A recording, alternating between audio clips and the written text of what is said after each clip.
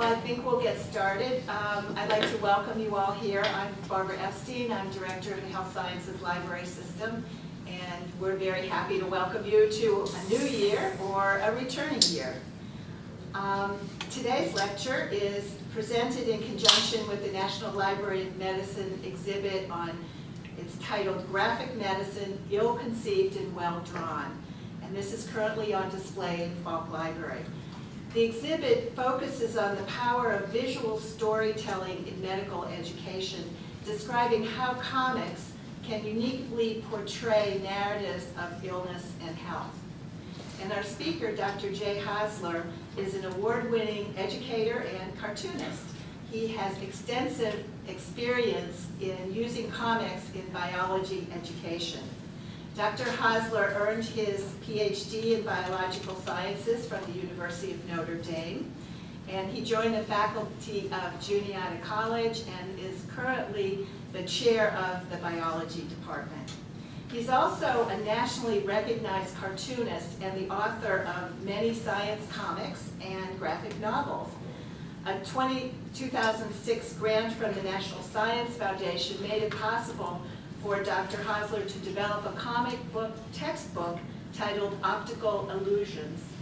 His latest book is Evolution, the Story of Life on Earth, and that was a 2011 Junior Literary, Literary Guild, Junior Library Guild selection. Library Guild? Library. Library Guild selection. In his search to effectively engage learners, he has found that comics are capable of delivering information in a way that traditional textbooks can't.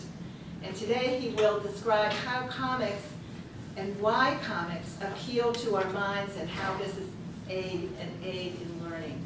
If you would like to learn more about the narrative power of comics after this talk, I invite you to visit the Graphic Medicine exhibit in Falk Library on the second floor, and it will be here through the end of September. And please join me in welcoming Dr. Hosler.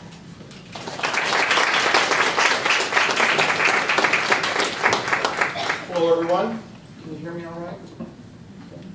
I am happy to have provided an excuse for free food for everyone. Uh, it was good. Uh, it's all downhill from here.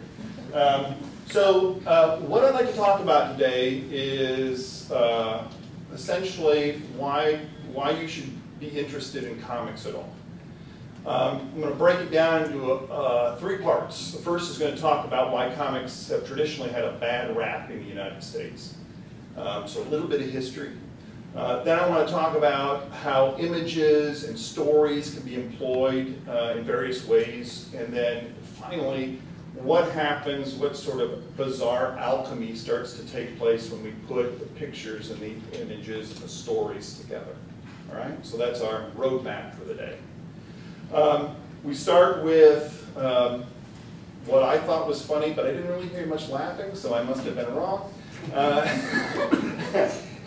this notion that um, words and pictures together are for stupid people. All right. Now, this is not uh, sort of a made-up idea. It, for Juniata, about 10 years ago, they're like, they got this great idea, which was to generate an ad for Juniata that was in cartoon form that they would place into high school newspapers. So it looked like a comic that you would read, and then boom, you're hit by an ad, right? So surreptitiously kind of sucking you in.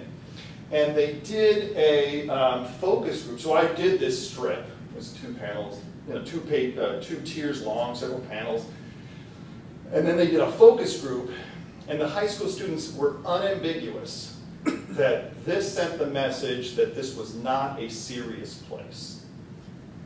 That only a dumb person who doesn't like to read books would go to some place that advertises using a cartoon. And so this is not only a prevalent idea, but deeply entrenched in relatively young people. Now, this is in a society, of course, that loves the comics page. So I've worked for a number of newspapers. And if there is one page that you cannot print, it's the comics page. Because everyone has to have their daily Hi and Lois, right? Or Hagar the horrible, because we have to know what pedantic, crazy, dumb, banal thing Hagar got into today, right? So there's this strange economy We love them, but we don't think they're good for us. It's like candy. I'm going to make an argument against that. There used to be a good old days of comics, right? So this is used at U.S. comic book readership in 1945. Six to 11 years old, uh, virtually all males and females are reading comics to some level. Um, even 18 to 30, look at that, 41% of men are reading them. 28% of women. Okay, that is a demographic that I'm sure most comic book shops today would love to capture because they're mostly boy shops, unfortunately. And at the time, uh, forgive me for being a biologist for a second, there was this tremendous biodiversity, comico diversity, right?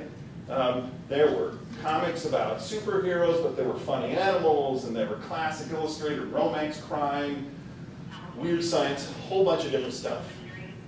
Um, it was so prevalent in terms of kid culture that there were actually researchers back then that we're thinking, you know, educational researchers like maybe we should use these in classes.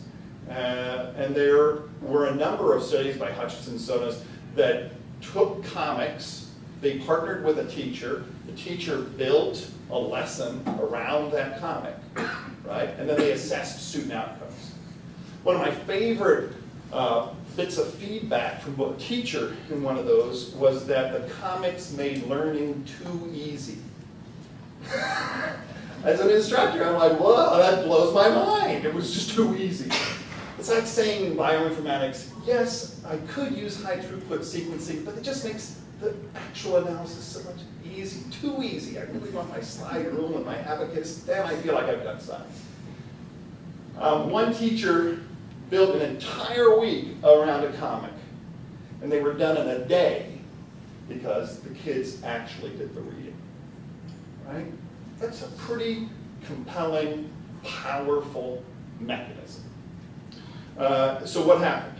Uh, well, as we know, we live in a, this is a, as a, a dyed-in-the-wool Democrat, it was really very sad to see a Democrat making this ad, but uh, she was, Nancy King was running, uh, worried about uh, uh, teachers being laid off in her district. Imagine if they had to lay off teachers and a bunch of kids are reading comics. Yes, imagine if they had to lay off teachers and suddenly kids went home and read.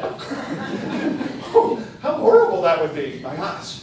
Uh, uh, that's clearly not the implication. The implication is that they're reading stuff that's going to make them dumber. Um, I will actually uh, tell you about experiments we've done in our lab that indicate that comics do not, in fact, make you dumber. Um, how do we get from using them in classes and wow, they're the greatest to they make you dumber, please elect me so we don't lay off teachers. Um, 50s, there was a book by uh, a sociologist named Fredric Wertham called The Seduction of the Innocent. And uh, without too much evidence, laid the fault of all juvenile delinquency at the feet of comics, violent comics, etc., etc. Right? Um, how was? Well, there were hearings uh, and book burnings. That's right. Less than a decade after Nazis were burning books in Germany, uh, U.S. citizens were burning comics in the U.S. We got uh, Binghamton, New York, students of St. Patrick's Parochial School collected 2,000 objectionable. In a house-to-house -house kindness. That just sounds terrifying, you know, kids roaming the street, grabbing my comics and making me nervous. Uh, and then burn them in the schoolyard. So not just burning them, but burning them in a site of an educational purpose. All right? That's pretty terrifying. Um, Britain banned U.S. comics. I love this photo of this British kid who's apparently just broken in. and he must have like a long elastic arm because he's broken these high windows and like reached in somehow, got comics, and then, you know, the, the dumb expression indicates that he is really stupid because he, he steals them and then stands there and reads them. Um, British them. The U.S. Uh, adopted a self-censorship so the comics that persisted um, worked under the, the Comics Code Authority for several years after. I mean, up until the 1970s, uh, late 70s, when Stan Lee wanted to do a story about Peter Parker's friend Harry Osborn dealing with drugs, which drugs were not permitted, even if they were to be shown as bad under the Comics Code. And so Stan Lee published, I think it was number 96, The Amazing Spider-Man, published that without the Comics Code. Right?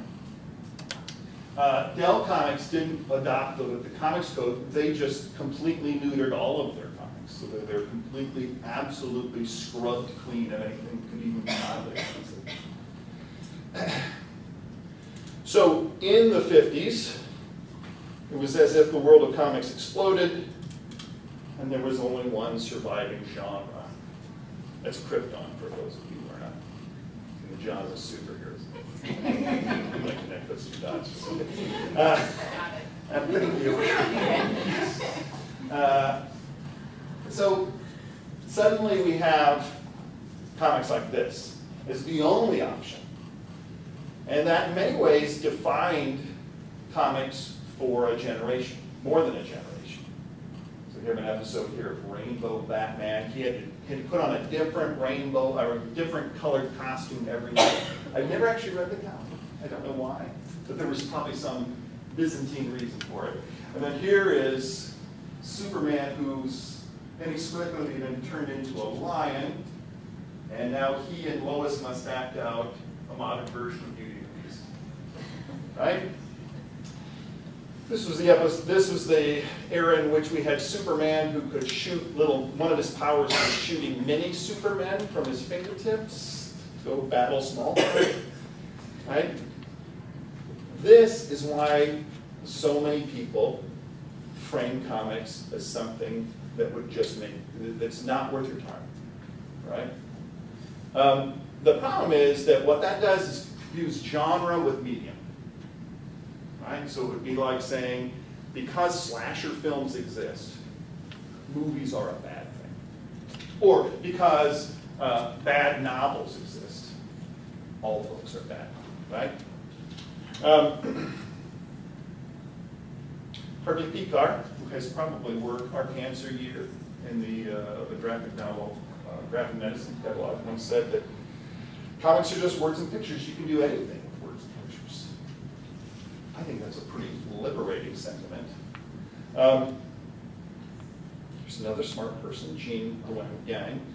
Um, Yang's first book was called American Born Chinese, and it detailed the experiences of a young kid who was first child of uh, Chinese immigrants and his experience uh, as an immigrant in the United States.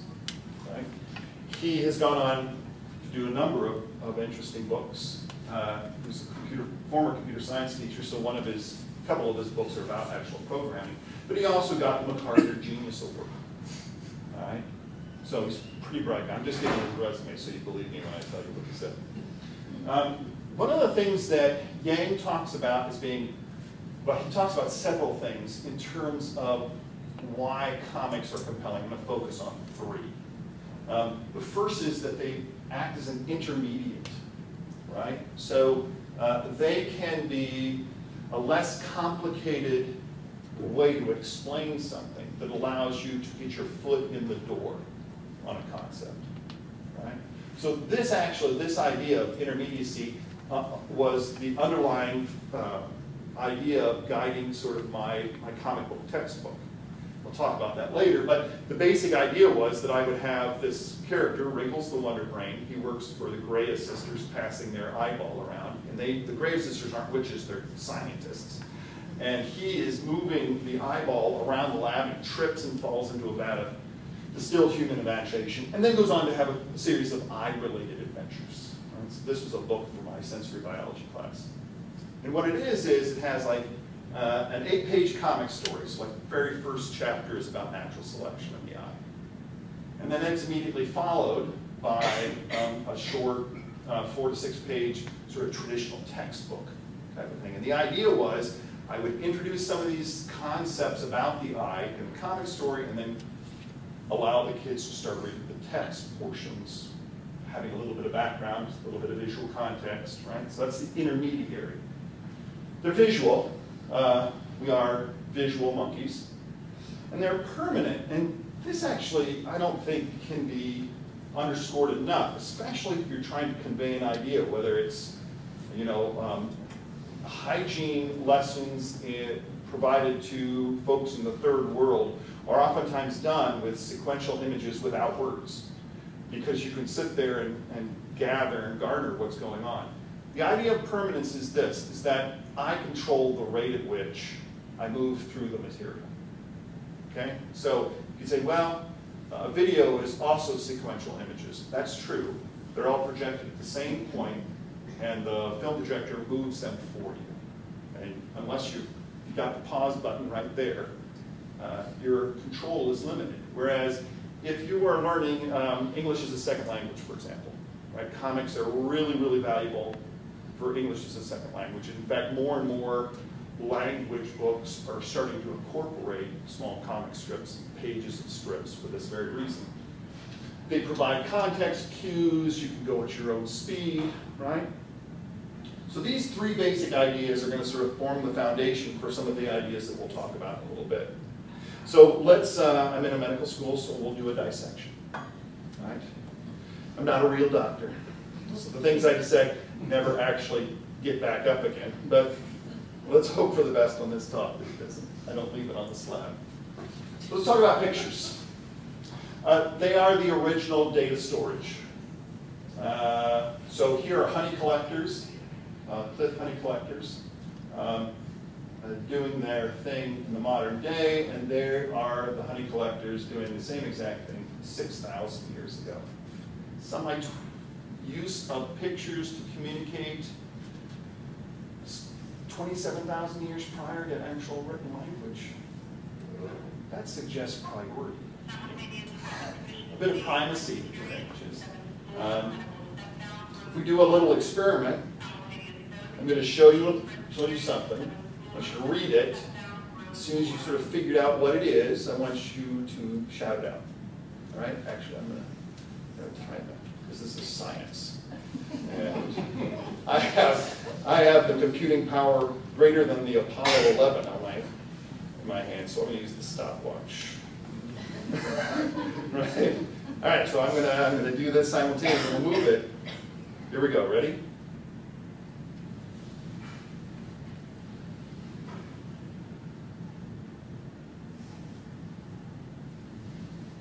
Here?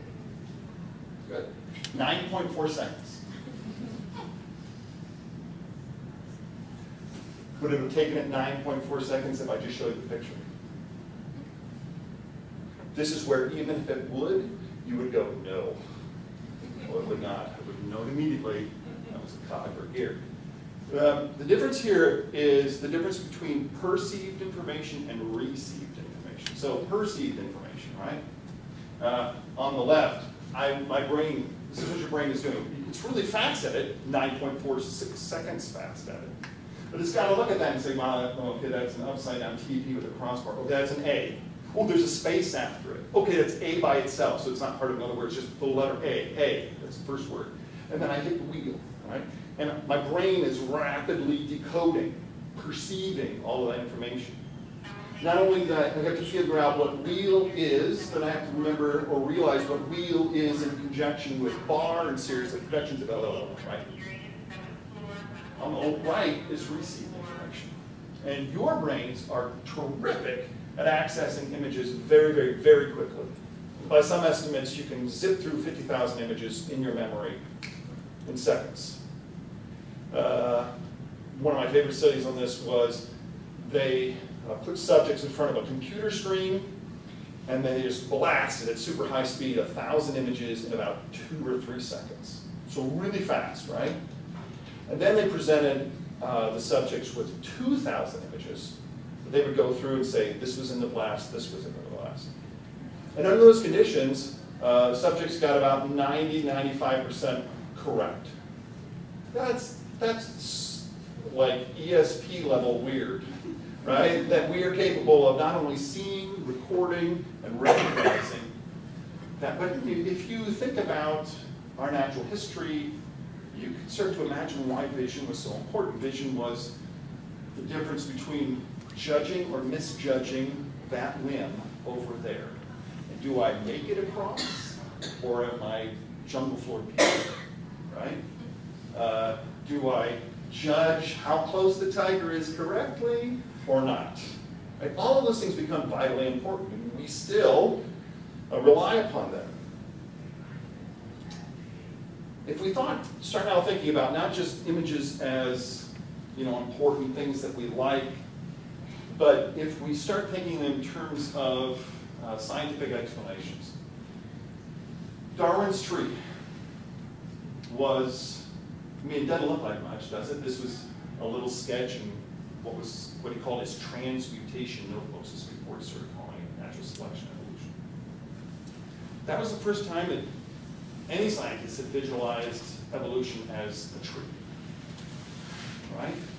Now the truth is the idea of a family tree was an old one, right? You can you can uh, Google online these amazing ornate Victorian oak trees that have uh, little curios and faces of the people from the. Right? The idea of a tree, right, representing a family, was not new.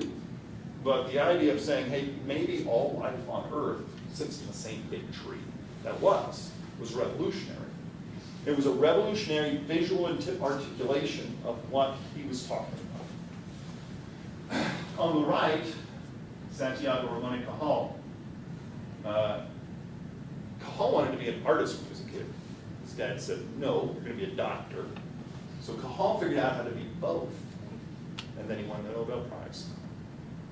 It is not an exaggeration to say that the founder of modern neuroscience um, made his mark through his art, through visualization of the nervous system. So this is the rep. Actually, when I teach neuro, I use this image just to make the point of how good he was. So with his images, he was actually able to deduce direction of flow, right? Suggest particular interactions, maybe even filtering of signals as they went through. So it's very easy, though, to look at that and say, well, no duh, you have no control, Jay. You say that pictures are important for science, but maybe we would have just been super smart enough and we wouldn't need no pictures anyway. Okay, that is true. I do have one example, though, that I'm going to argue is my control. Gregor Mendel, kind of important guy. He came up with this stuff called Mendelian genetics. Um, it's pretty huge. In fact, he was a contemporary of Darwin's. And Darwin actually went to the grave, I think the quote was, I have convinced the world of evolution, but not of natural selection. He thought he had failed. Because the one thing that he was missing was an explanation for how inheritance worked, right? All the other pieces could give you data for, but he had never articulated exactly how these adaptations, these advantageous traits were passed on. Mendel did at the same time. And in fact, in his drawer, he had Mendel's manuscript, uh, sealed shut, unopened. Um, biographers will tell you, even if he'd opened them, Darwin wasn't great with numbers. Probably wouldn't quite have understood it. But he had several contemporaries that were great with numbers and could potentially have shared that information. When Mendel, this groundbreaking scientist, presented his work to other scientists, no one understood what he was talking about. And in fact, they, there's actual reports of people thinking how boring it was. Because he focused on what he did, right, and how complicated it was, and everything got lost. What if he'd had a picture? Now, yes, his work was intense and had tons of data, but my wife is a middle school science teacher, and she teaches Punnett squares. And I'll tell you what, if some of those kids in her class can grok a Punnett square, I'm pretty sure brainy Victorian scientists could have as well. So it's an imperfect example, but I would argue that Mendel's work was lost until the early 20th century. Uh, maybe didn't have to be. Or maybe it couldn't have worked that way because Punnett wasn't born yet, so he couldn't make. Um, All right, so pretty important for conveying information. Let's get personal. This is kind of medically, so you'll like it. Um, doctors working in ER, um, you know, you have a patient that comes in, big gash in some part of their body. Right, so you're a human being, and you have a hole in you, and it's leaking. Right? That's usually a very compelling. I find myself very motivated by giant holes leaking bodily fluids. Makes me want to do something about it. So we've got folks go to the ER, and uh, uh, docs there decide, well, here's what we're going to do. We're going to split into two groups. Uh, one group, we're going to give written instructions for how to take care of this wound. Right? The other group, we're going to give the exact same instructions, word for word. The only difference is going to be that we put on these silly, poorly drawn images. That's it. Only difference. And then they talked patients a little bit later. I can't remember how long they waited. It was a couple weeks, I think. And they asked them, you know, some basic questions. Did you read the instructions? So almost everybody did if there were cartoons. Uh, less than 80% did if there weren't. Right? Uh, they were asked four questions about wound care. Again, you're at home. Large hole somewhere in your body. Don't want it to get infected because, like your right arm, do something about it. How many answered those four questions correctly? Uh, close to 50% of you in pictures. 6% on wound care for the hole in your body. right? How many actually did what the wound care thing said? 77% before. And then look what happens with those with less than a high school degree. How many of you adhered to wound care? 82 twice, a little less than twice as many. All they did was put some silly pictures there. Okay? If that is not compelling evidence that you, that we, I won't just pick on you, we are silly visual monkeys. Right? I don't know what I can do. So that's that's keeping you well. How about keeping you alive? You get on an airplane and you open up those airplane instructions because everyone wants to think about dying right before takeoff. and it's not a block of text, right? They made a decision. All right, this is life or death. We're going to use words or pictures. Oh, we're going to use pictures. Because the last thing you want to do when the gas mask drops is get your reading glasses out and wonder, what the hell is this my type? These are comics. And when it's important, that is what you use. Right? Now, before going further, I'm not really advocating getting rid of the written word. Okay, so before anyone rolls their eyes so far back up in their head that you can see your frontal lobes, that is not what I'm advocating. What I'm advocating today is that this is a tool that is underutilized. Right? And that if you have a tool that can make a difference in, in my case, my students' lives, in your case, this eventually your patients' lives, why wouldn't you use it? If I can use comics, and I do, to improve my students' understanding of photosynthesis, which they do, why would I not use that? If you can use a picture or an image to make sure that someone takes care of the wound that you just stitched up, why wouldn't you do that? Right? Um, why are they so effective? This is the amazing magic of, of cartoons. So here's a cute little Russian girl. This is from Alfred Yarbus's Eye Movements and Vision. Yarbus was one of the pioneers on doing eye tracking, so looking at how we look uh, at pictures. And when you show a subject this picture, and track where their eyes go. You see the lines are, the line is where the eye is moving, and then there are darker spots where the eye sort of pauses for a moment. Kind of takes a little picture, moves on to another little picture, right? Because well, I think your fovea, uh, takes about 2% of your visual aid, uh, area, so your eyes are constantly vibrating, hopefully not quite that chameleon-like, but they're constantly moving around, right, piecing together this picture. So at no point am I actually seeing all of you at once. My brain is sort of assembling that. So eyes go all around that.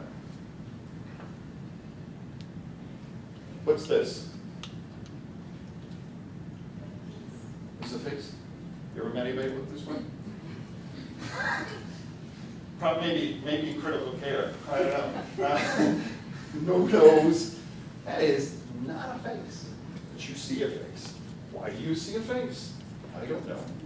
Maybe because you're crazy little monkeys. And the most important thing to you when you are interacting with another human being are what are their eyes doing? What is their mouth doing? Right? If they've got furrowed brows and a happy face, then what does that mean? Or ha I can't do it. Right? They're sort of coordinated. We see faces everywhere. I was, as mentioned, I was out in Vermont talking to some graduate students uh, last week, and I got stuck behind this. I don't, I can't even remember what the name of the car was, but the back of the car, two taillights, and then its fender was like bent like this, stylistically. And the, the lights went in like this, and it looked as if the car was scowling at me.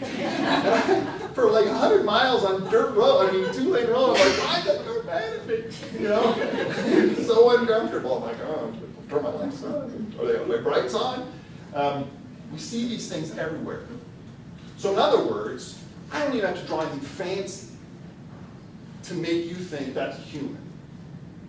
Uh, XKCD, anybody familiar with that comic strip? XKCD, essentially stick figures. If you look it up, it's pretty funny stuff. Um, he doesn't even draw faces. He's super popular web cartoonist. Uh, his characters don't have faces. Right? And more people have read his stuff than mine, that's for absolutely sure. I put all this time into faces. What am I doing? I'm wasting my time. Um, so we see faces everywhere.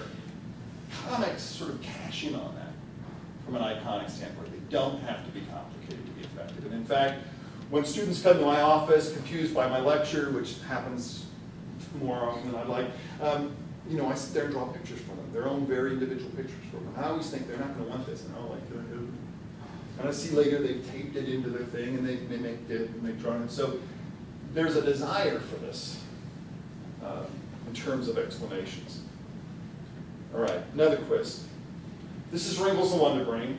What's he doing?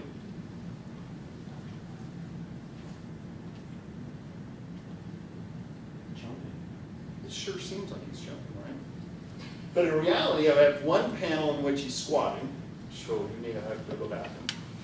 Maybe just one because he's happy. Another one, he's in the air somehow, but you never actually see him.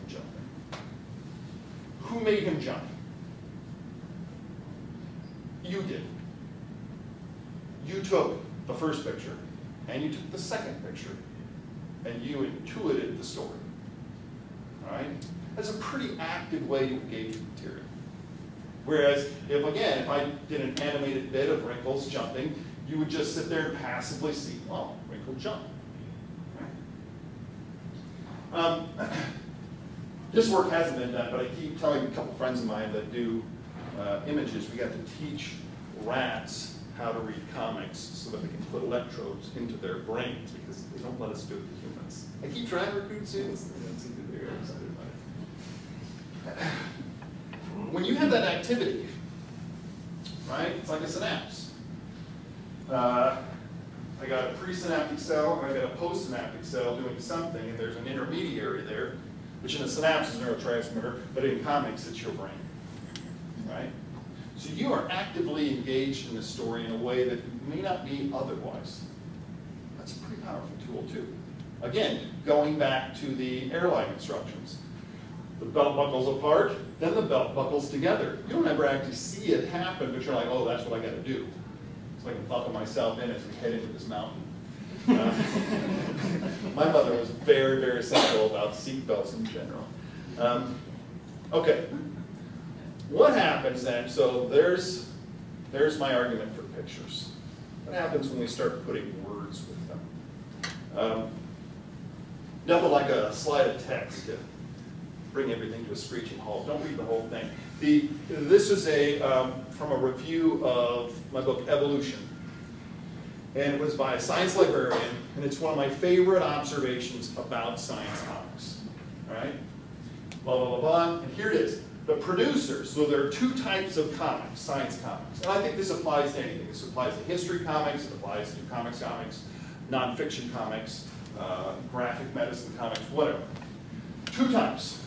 Um, there are those in which the producers think that anything in graphic novel format will be, by definition, more interesting and engaging than something that's purely text-based. So in other words, they've taken densely, um, a dense text, and then made it a densely illustrated text. Okay, so I will speak from personal uh, experience. When I was growing up, I loved Spider-Man. I love uh, Peanuts. Those were the things I liked. But you know, well-meaning adults would say, "Oh, this is a comic on the you know the Apollo rocket," right? Which you would think that would be intrinsically interesting. But somehow, the physicists who wrote it managed to wring every bit of joy out of the notion of putting a human in a missile and shooting them at another planet, and then somehow bouncing off the planet and getting back to Earth. All of the excitement of that was reduced to technical blocks of text that just happened to have pictures together. And I wanted nothing to do with those things. Right? Those are the kind of comics that parents think their kids will like. And wow, those are the kind of comics that parents like. Well, it's comics, and it's educational, let's give it to the kids. They'll love it. They don't. They hate it. Uh,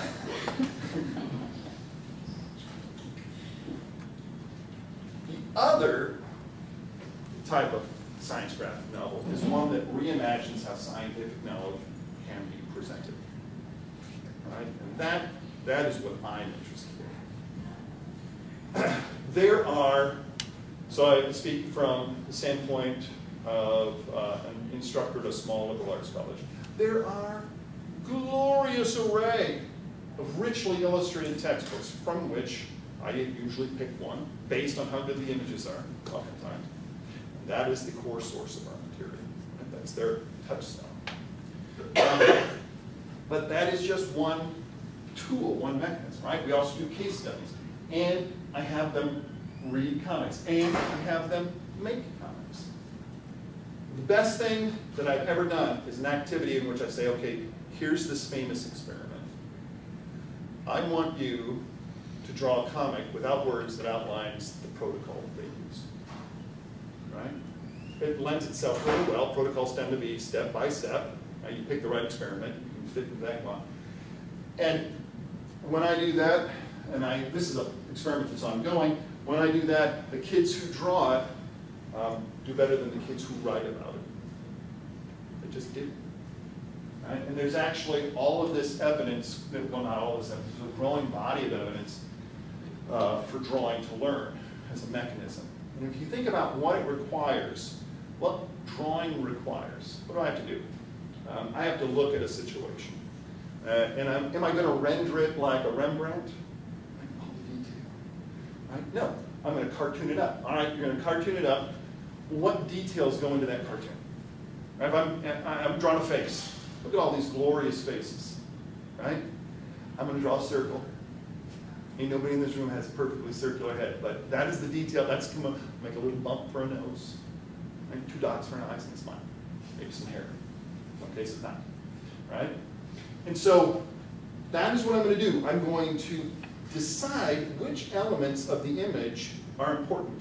What do I have to have for the communication? Well, that's a processing issue. And to do that, you have to know what's going on in order to make those decisions. Do I draw a picture of the pipette? Is that necessary? Maybe it is. Maybe it's not. Right? And so all of a sudden you have to start sorting information based upon what's important to show, what don't I need to show. And again, you can't do that unless you develop an understanding for what's going on. Right? Uh, this is uh, this is a first page of a two-page comic I did for. Uh, I was commissioned by a woman named Adrienne Briscoe uh, for for her paper in PLOS about, she did bioinformatics of this butterfly. And Apparently, uh, females have extra taste receptors in their forelimb here. So you see little fuzzy things in her forelimb. And they go around, um, touch your plants to see if that plant is toxic or not, because they have to lay their babies on it, right? Um, and she's looking for cyanogenic glycosides. The male can't do this. So what I did in the story was, it's sort of a breakup story. I picked my favorite uh, 1980s romantic, Tracy and, or Stacy and Travis. Uh, and Travis is no, no help to her at all. Okay? Uh, so, because uh, she's looking for it, and she asks him what he thinks about this. You know, I like it, it's green, it's planty. Um, so, we'll get back to this in a little bit. But telling a story in this, I had two pages. The, the actual science uh, is probably, you could probably say it's two of the, there's four, five, six, probably total of 12, two of the 12 panels actually have science in them. I mean, this is one of the downsides, right? You say, I'm going to use comics. If you, if you do them the way I think they should be done, then you have to give up some space for explanation, but replace it potentially for contextual information that will help some someone remember it. Telling stories. How are we doing on time? We have what, till three, is that right? I'm a quarter of the way through, I think we're going to make it. Um, telling stories. Uh, Jake symbol and the metaphor or as necessary to science as to poetry. That is, that is an astonishing claim by Bronowski. Wow. Symbol and metaphor in cold, objective science? We all know that scientists don't feel anything. We're robots. We go into the lab, we open up the manual to the next experiment we're supposed to do, we robotically perform it, we generate data that always works. We do not ever have theories that we violently defend. Right? we are not emotional. So how could this be important? Um, telling stories provides context. Right? So my argument is if pictures are important, and stories tell context, let's put them together. Has anybody smart done that? A couple smart people. So when Einstein published his special theory of relativity, he told a story, which I'll tell you in a second, and drew a picture, which is the top thing. It's not super exciting. Let me break it down for you. Um, this upper line that bends up is a train. So from my eyes, as a kid who grew up loving locomotives with cow catchers, this train looks like it's upside down. Um, but anyway, it's a train. V indicates velocity, so it's moving this way. Here's the rail, and this, this is the side of the train. And in this particular case, he's got someone standing on the embankment and someone riding on the train. And then what he posits is that lightning strikes. And it strikes at A and it strikes at B. Okay? Now, this is his story. Some woman is standing by the side of the track, and some man is, or some woman is in the train, and they're going by, and they're both going to experience this phenomenon. So everyone can imagine train standing, watching, going. Then lightning. Now, he used this story, this analogy, to settle an argument that had raged since Leibniz, right? Before made calculus. Uh, which was, is time absolute in the universe? Is it the same time on Saturn as it is here? That's an oversimplification. But that's essentially the idea. Anywhere in the universe, we're all at the same time.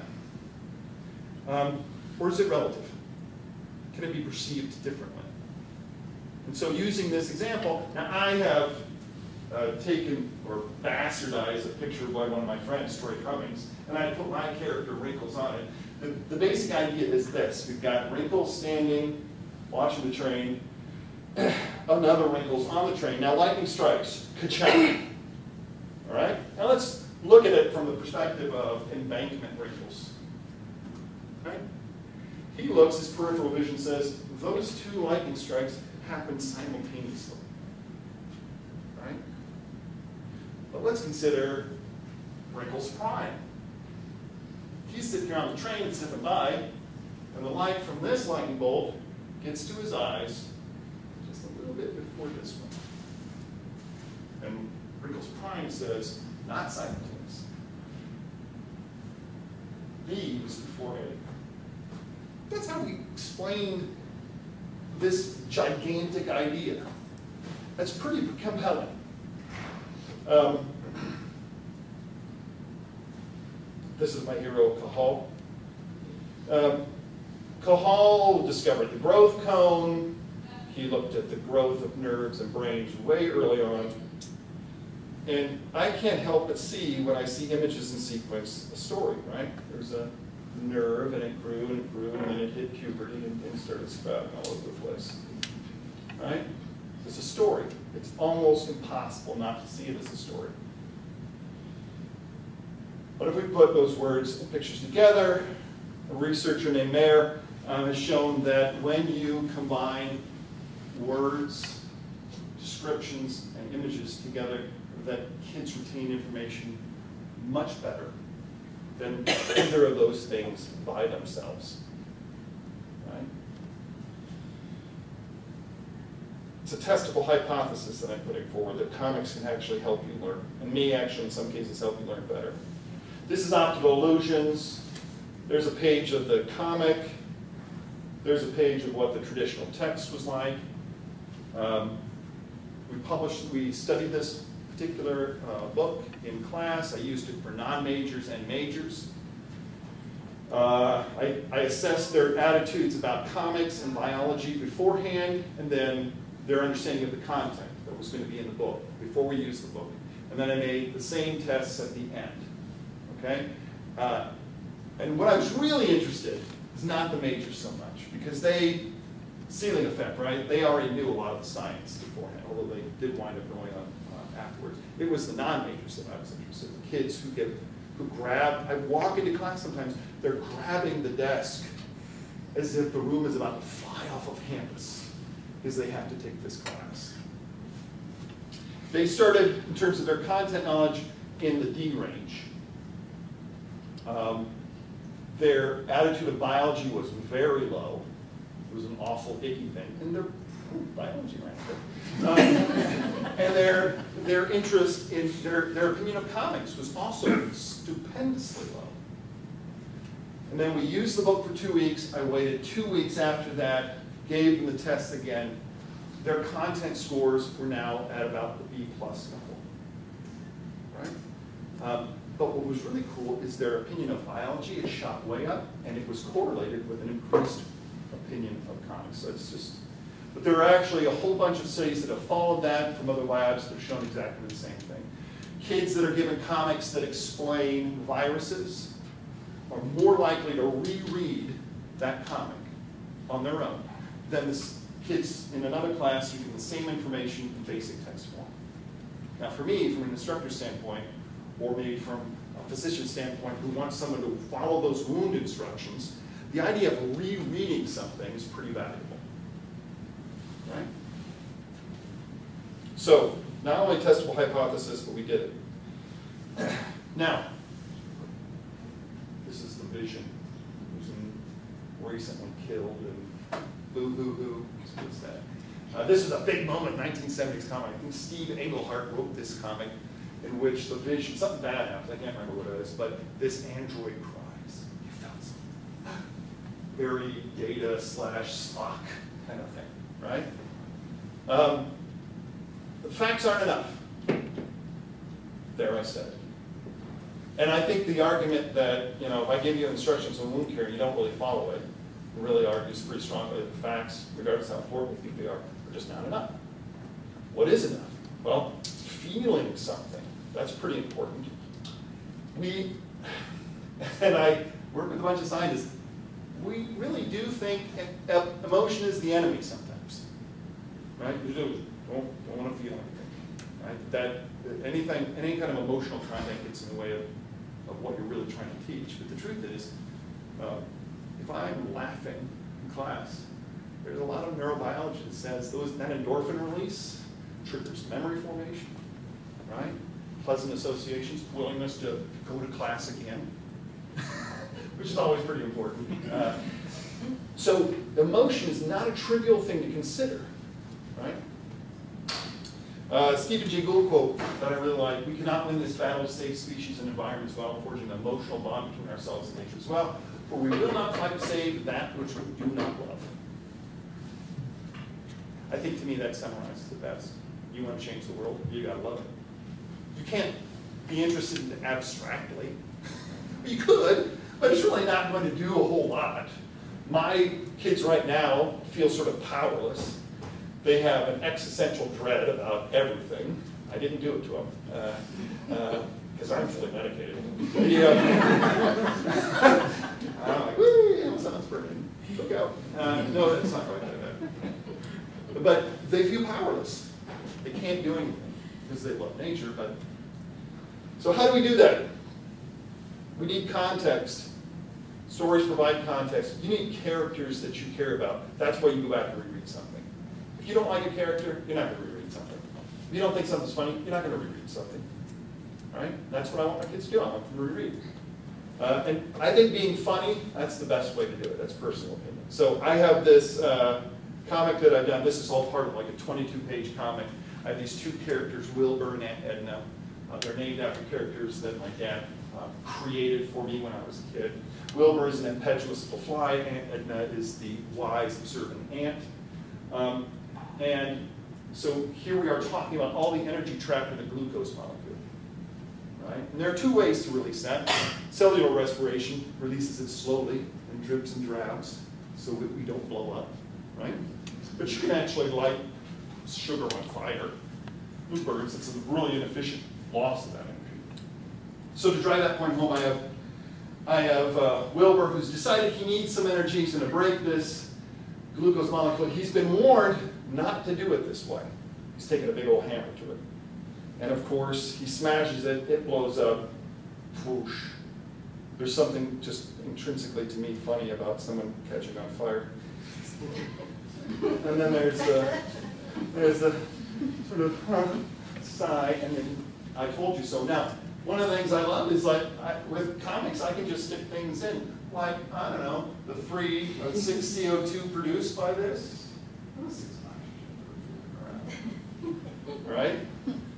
Those are little things that reward rereading. I use this for my class when we get to, uh, to cellular respiration. Uh, my kids are tend to be, for whatever reason, terrified of me, so they don't ever tell me this in person. But in addition to the negative comments sometimes in my teaching evaluations, there are plastic ones in which they unsolicitedly say, thank God for the comics. because that's the one format that you can actually be understandable. Um, I think it's intrinsically funny, and I would want to watch, as a kid, I would want to read this again. But I want to watch it again. I, there's something funny about that thing blowing up in its face, because you know what's coming the first time. Um,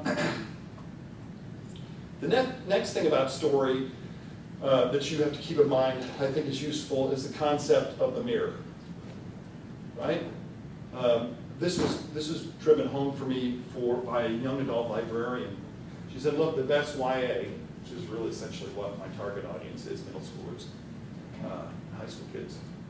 The best YA stories have two things. The first is a mirror, right? And you can use this and apply this to any sort of description you use.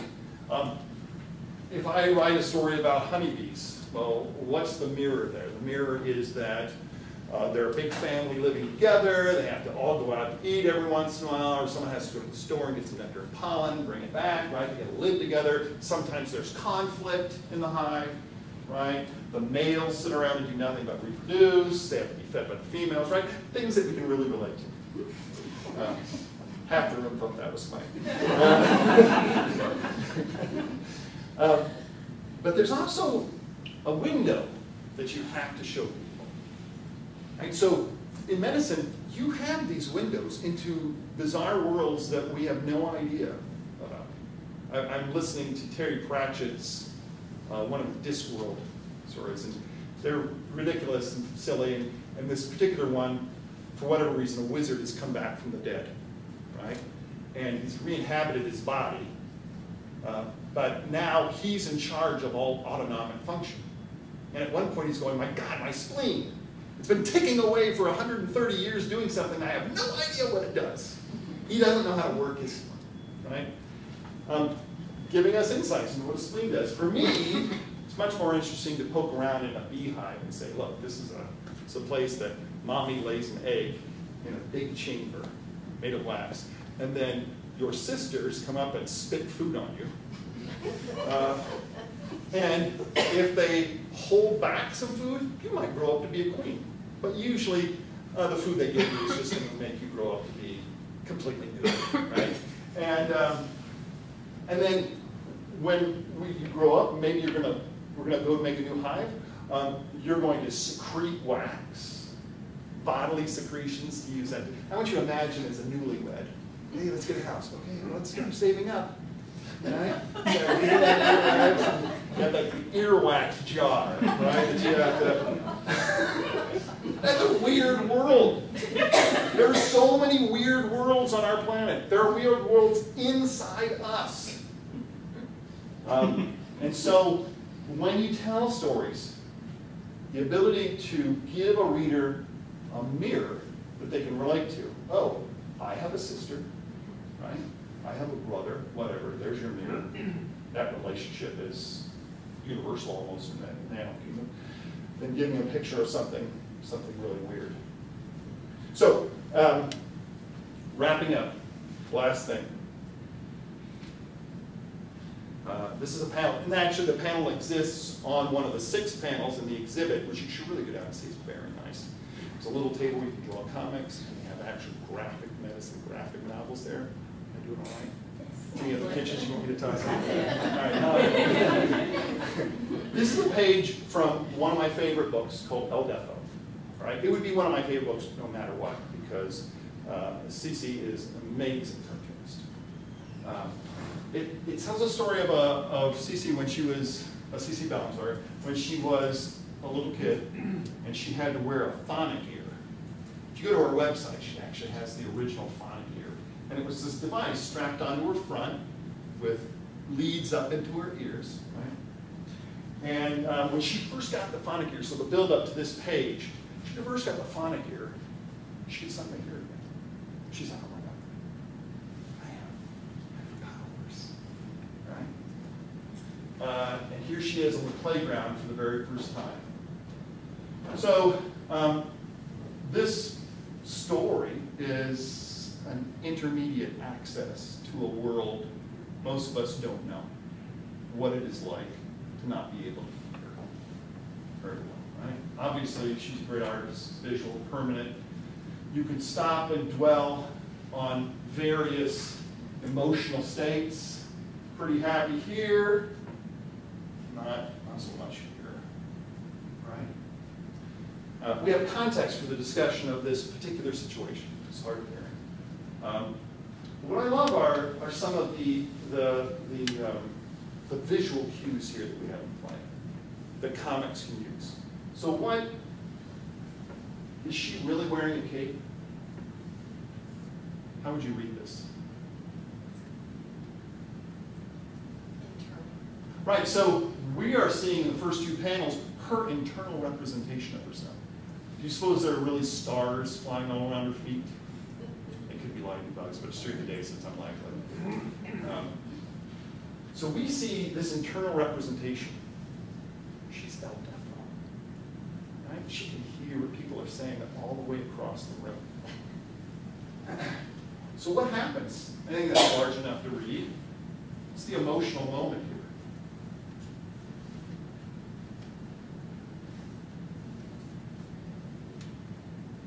Oh, I know the audience participation part is the worst part of every time. Because you might say something and everyone's going to think you're stupid.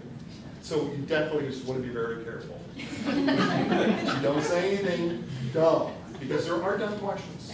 Yes, I'm putting it out. Um, what happens here? Yep. So like she can finally hear, but then like, like with that comes hearing bad things to her, so. Right. So one thing is, this guy comes up and he says this thing that, well, and, and why is this, why would this be considered bad? Throw it out there for anybody. It's different. Yeah, she's different.